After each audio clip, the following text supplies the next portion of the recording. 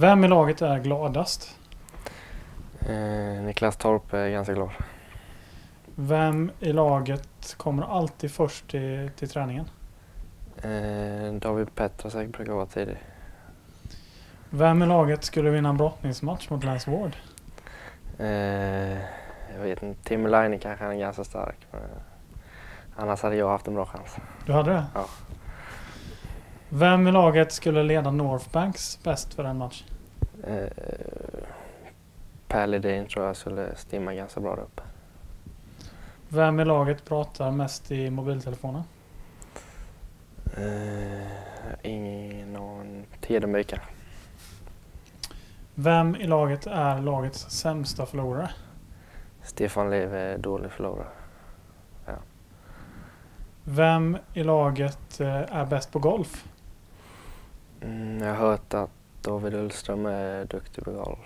Jag har aldrig sett honom men jag tror han är bra. Vem i laget tror du vinner poängligan här igår? Eh, Johan Davidsson tror jag. Vem i laget är eh, den bästa målskytten? Jag måste ju säga Jocke. Han hänger dit. Vem i laget har sämst musiksmak? Eh, Daniel Grillfors och eh, Niklas Torp. Du gillar inte hårdrock? Nej.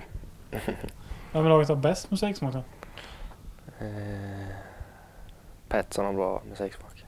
Vad lyssnar han på då? Eh, svensk musik, lite rap och så här. Petter och det är bra.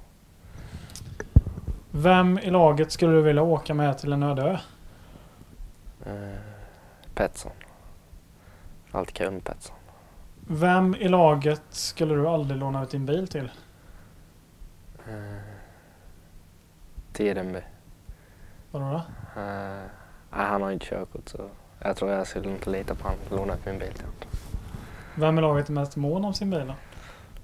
Eh, Melin tror jag är mest mål. Jag har hört att han tvättar bilar mycket. Fixar och donar.